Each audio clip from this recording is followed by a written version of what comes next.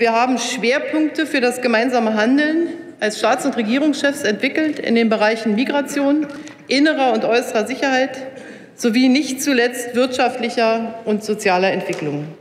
Deshalb ist es auch alles andere als ein Zufall, dass das erste Kapitel des neuen Koalitionsvertrages von CDU, CSU und SPD Europa gewidmet ist.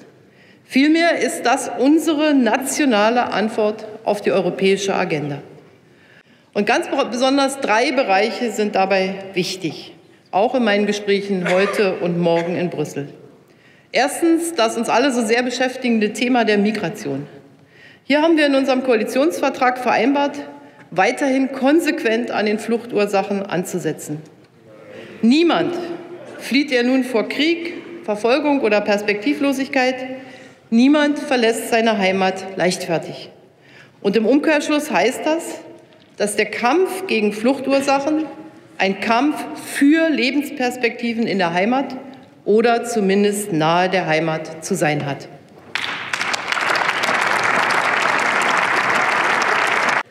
Im Koalitionsvertrag haben CDU, CSU und SPD darüber hinaus die Notwendigkeit eines wirkungsvollen Schutzes der europäischen Außengrenzen unterstrichen.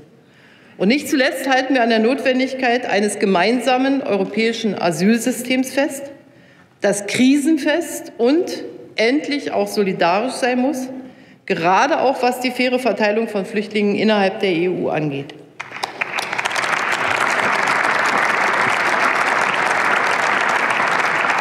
Dies, meine Damen und Herren, ist das bei weitem unbefriedigendste Kapitel der europäischen Flüchtlingspolitik. Das steht völlig außer Frage.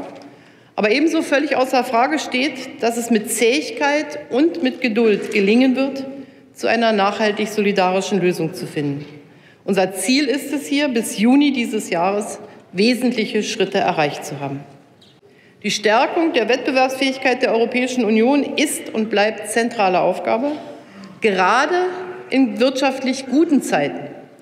Es ist deshalb von gar nicht zu unterschätzender Bedeutung, dass es den Menschen in der Europäischen Union nach den schweren Jahren der europäischen Staatsschuldenkrise inzwischen wirtschaftlich zunehmend besser geht.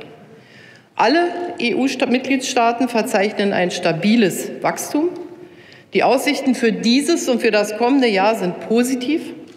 Europaweit haben heute so viele Menschen Arbeit wie seit neun Jahren nicht mehr. Aber wir dürfen uns auf diesen Erfolgen keineswegs ausruhen. Ich will ein handlungsfähiges, ein solidarisches, ein selbstbewusstes Europa.